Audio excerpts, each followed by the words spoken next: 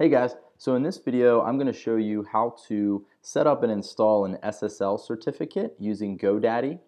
This video does assume that you have your domain and a managed WordPress hosting account also both set up with GoDaddy. If you're hosting somewhere else or your domain is registered with another company, these instructions are going to be slightly different, but this is assuming that you have everything purchased with GoDaddy. So the first thing that we're going to do is we're going to log into our GoDaddy account. Make sure that you're on your My Products page. And scroll on down, you should have SSL certificates down here. There shouldn't be anything listed here yet. It should just say standard SSL. And click the Setup button. This drop-down list will list all of the different SSL certificates that you have purchased under this GoDaddy account. Since we only have one here, there's only one option to choose in the drop-down. You may have multiple options, just choose the one that you'd like to use. And go ahead and click Setup. Now when you come back to your My Products page, under SSL certificates, this will look a little bit different. It'll say New Certificate. Now it's ready to be set up and installed on a domain name. So go ahead and click the Manage button. Because we're hosting our domain with GoDaddy, GoDaddy makes it really simple for us. We can choose select a domain hosted with us and here's the only domain we have. So just go ahead and choose the domain in your list. If you're hosting multiple websites with GoDaddy, you'll see them all in this dropdown. Just choose the one that you want to install the SSL certificate for. One of the final steps before we can request the certificate is we have to prove that we own the domain. The way that GoDaddy does that is they're going to send an email to whoever the email address is listed for for the account owner. So this is typically something that is entered when you purchase a domain name, you put in an email address, and that will be used as the contact.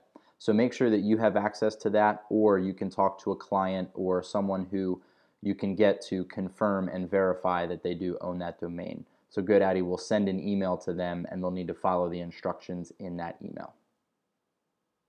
And make sure that you agree to the terms and conditions and go ahead and click Request Certificate. Now we land on a progress page. You'll see that the verification progress is 50% complete. We need to follow the instructions in the email that we received in order to prove domain ownership. So right now we are pending verification. As soon as we follow those instructions in the email and confirm that we own the domain, we can finish setting up the SSL.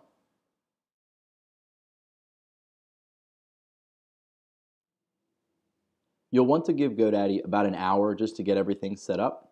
Then you can return to your My Products page, come back down to SSL certificates. You should see the new certificate that you created with the domain name that you assigned it to right here.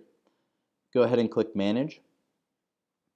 On this screen, you can just confirm that your SSL was issued.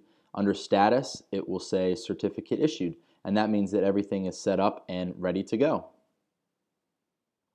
One of the final steps is to come back into your WordPress site. So you go to your admin area, Go to Settings, General, and here you'll see the WordPress URL and the site address URL.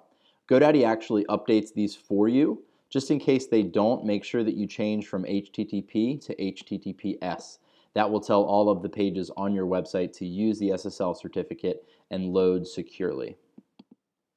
And finally, just to confirm that your website is working properly using the new SSL certificate, you can browse to your website but put HTTPS in the URL and just make sure that everything loads up correctly. You'll also want to make sure that you have a green lock icon up here. That means that all elements on the page are loaded securely.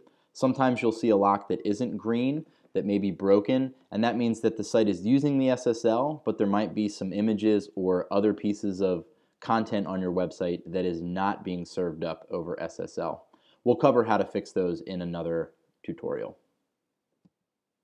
I hope this was helpful, guys. If you have any questions or any challenges setting up an SSL certificate with GoDaddy, please leave your comments below.